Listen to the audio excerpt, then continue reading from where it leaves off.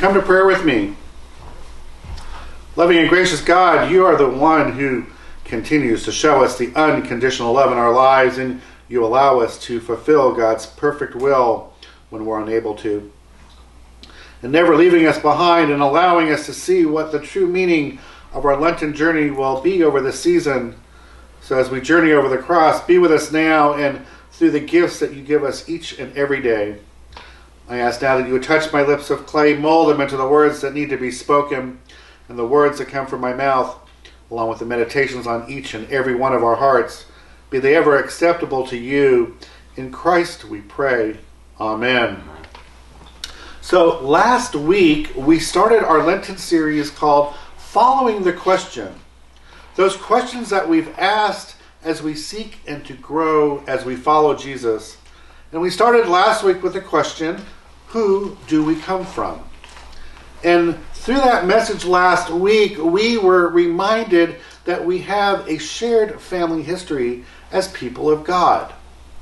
And no matter what our personal ethics or our cultural or family histories are, that in Christ we've all been adopted into one spiritual story.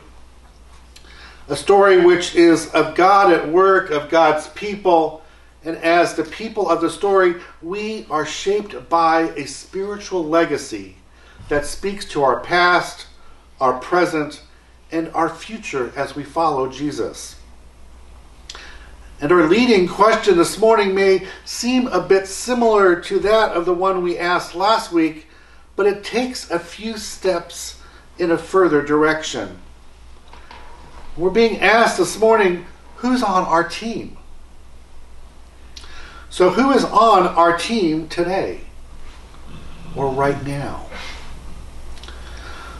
So, if last week is about what makes us who we are and what grounds our identity, then this week we're going to try and recognize how we are able to move forward together along with the, what Jesus is doing as well as through doing through us. But we need to take note that the question is who is on our team, not who are your people. Because just as human nature, that those two questions could direct us in two different directions with totally different answers. If I was to pose the question, Who are your people? I'm sure what would come into mind would be the people in your inner circle, your family, your friends, your tribe, the people who are most likely to be exactly like you. Often, our people are those people in this particular season of life actually having a handle on who we really are and who we naturally understand who our joys and our struggles are due to that human nature, but we always will quickly divide into different kinds of segmented tribes.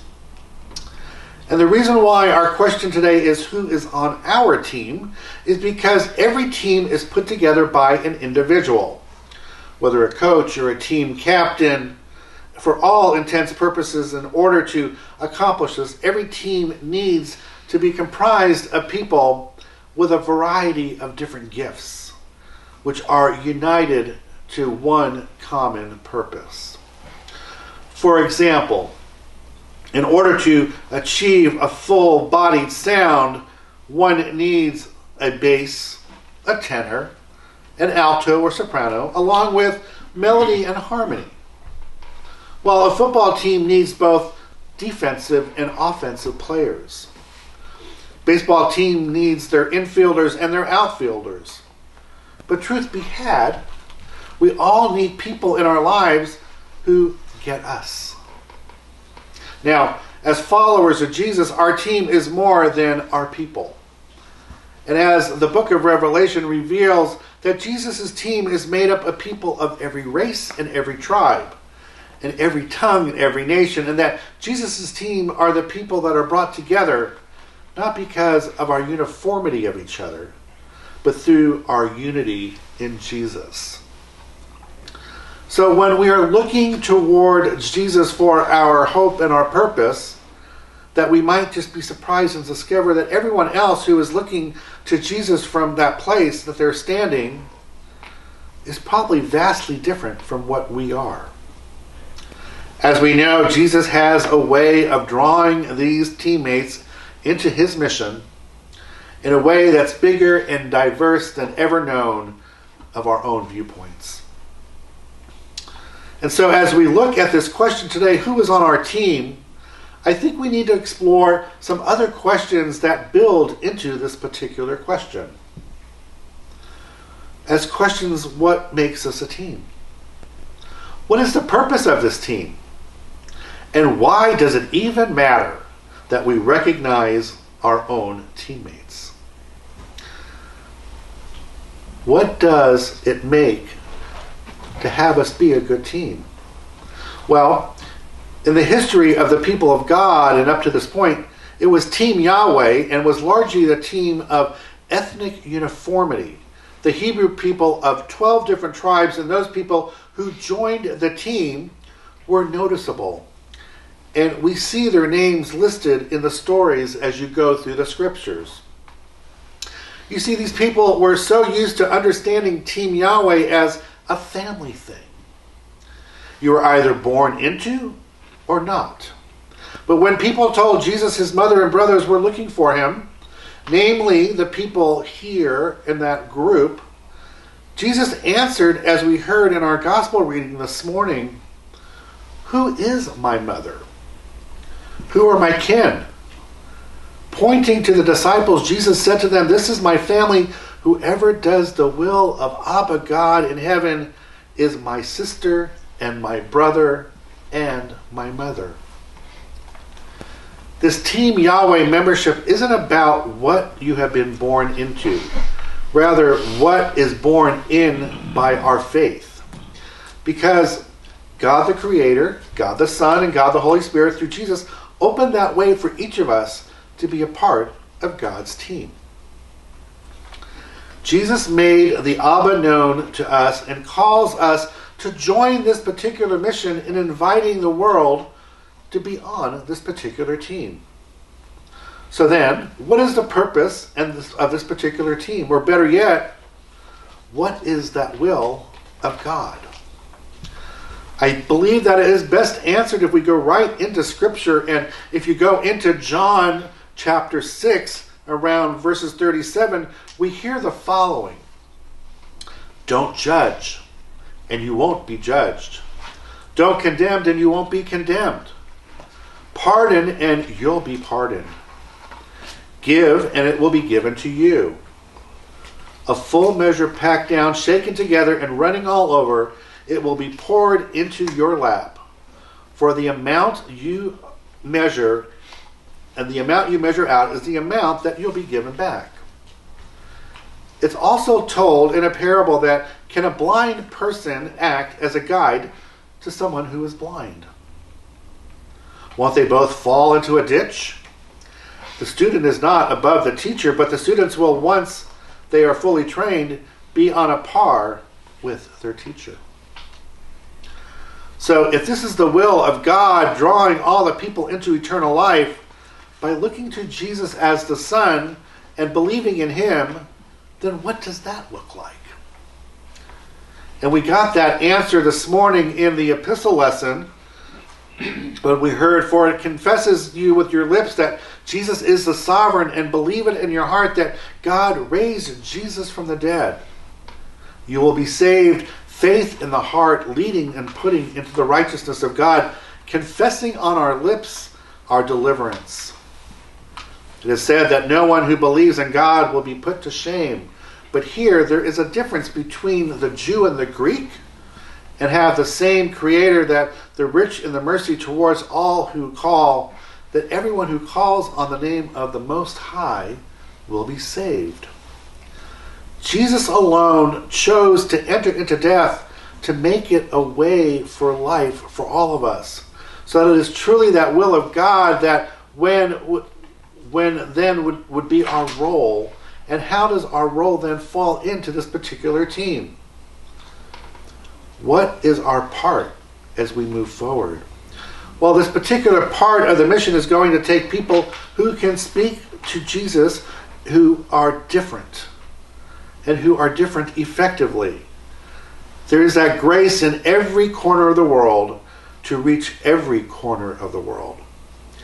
And then Jesus calls his people from those vastly different corners of life to become that part of the team. So then you might say, then why does it matter that we recognize our teammates? We know for a team to function well, it has to be both diverse and gifting, as well as united in purpose. And it also needs to respect the differences of inside that make it strong, while also pursuing together, reaching the goal. I think it's difficult for us to see what Jesus sees in people who are not like us come through and say that they're not sure. And believe it or not, the original disciples had those same issues. A group of 12 disciples that Jesus called to follow him, who at the same time didn't always get one another because they were a very diverse group. We have to note, however, that they were all there because Jesus had called upon them and because they wanted more than anything to know more about Jesus. I'm going to show you a segment of a movie called The Chosen, where it actually is a depiction of the calling of Matthew. This is just one filmmaker's idea of what it might have looked like for those early disciples. Mother of a son with talent like yours should be proud. She's ashamed that I could use the talent that God gave me against God. Next. You're good at something. You found a way to make a living doing it. It's that simple. Must be nice to live in a world so simply ordered. We live in the same world, Matthew. Next. Besides, what else are you going to do with a mind like yours?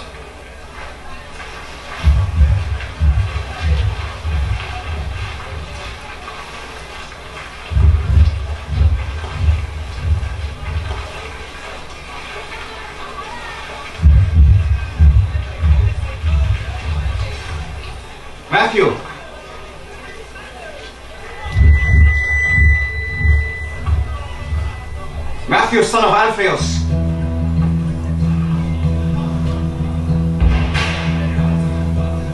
Yes? Follow me. Me? Yes, you. What are you doing? You want me to join you? Keep moving, street preacher. Do you have any idea what this guy's done? Do you know? Yes.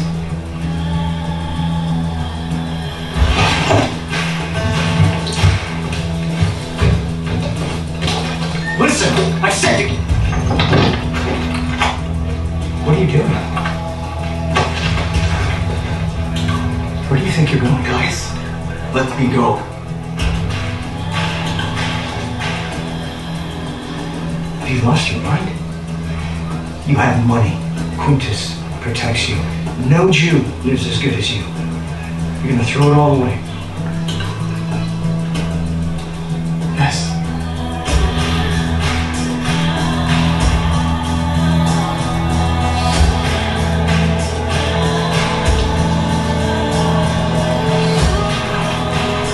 I am dead. You didn't get it when I chose you either. But this is different.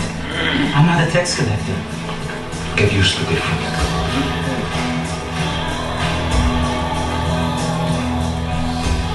I'm glad we passed by your booth today, Matthew. Yes. Shall we? We have a celebration to prepare for. You will regret this, Matthew.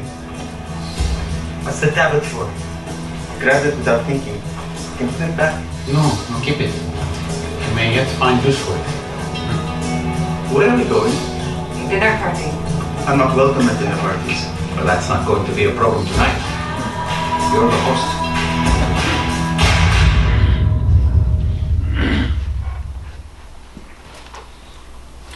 going to Matthew's for dinner tonight.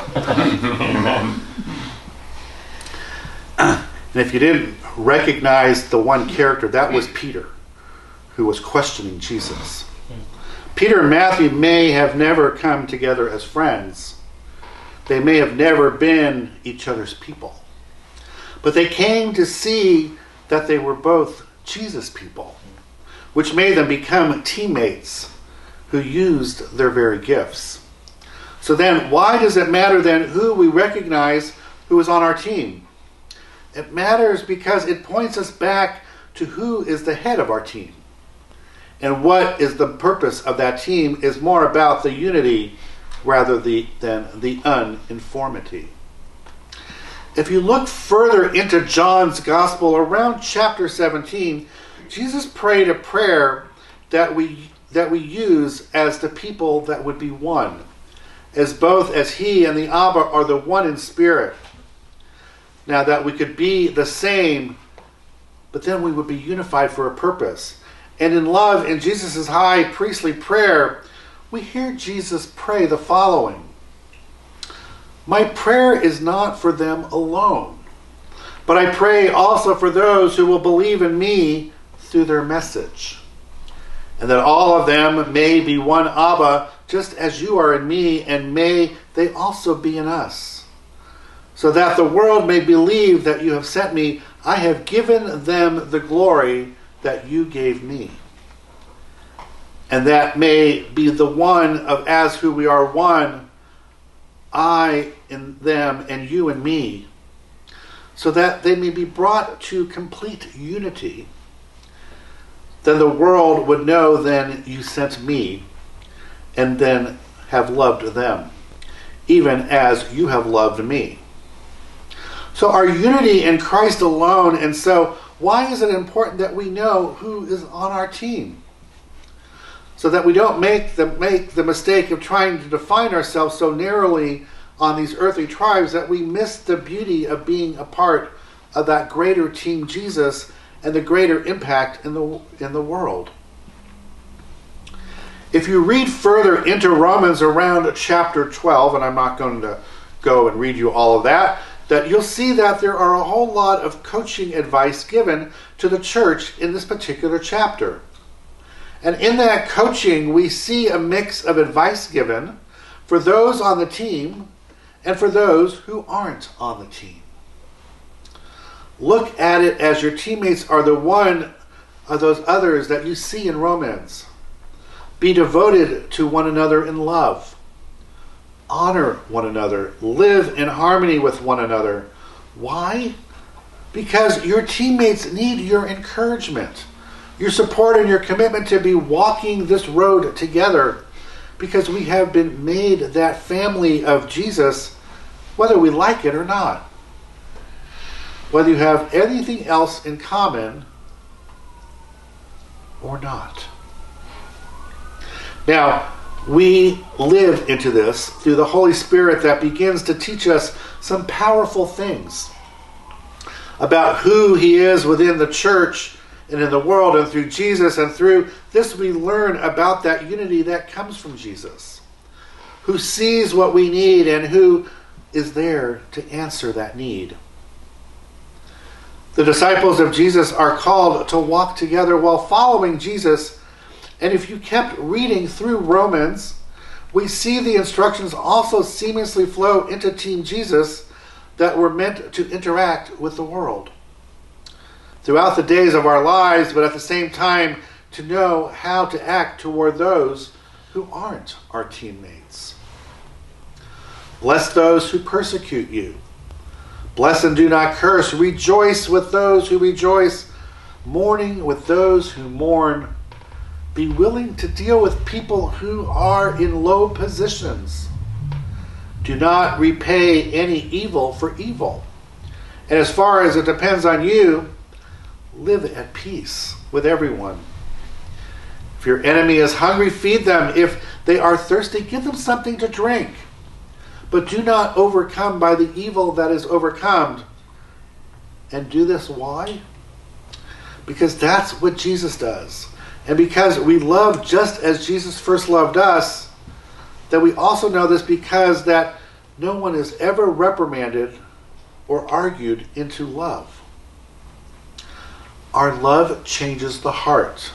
And if you're on our team, you know that you're here due to any other things that any of our own performance, but rather we are here to be adopted into it and the price that has already been paid to make us family.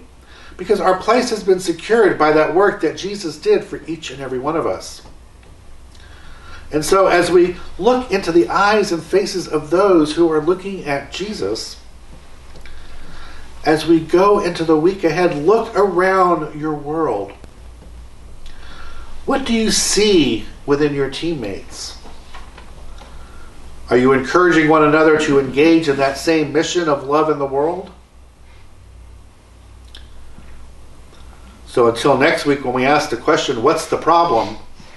Blessings upon each and every one of you this morning. Amen.